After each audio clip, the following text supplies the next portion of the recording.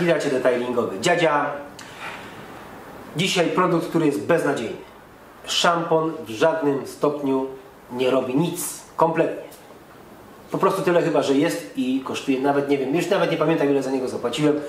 To są najgorzej wydane pieniądze, jeżeli chodzi o detailing do tej pory.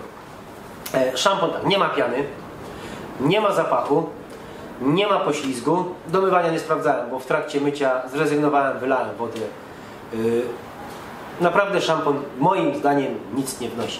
A czy tak rzeczywiście jest? Zapraszam Cię do dalszej części filmiku. Do zobaczenia, do usłyszenia. Cześć!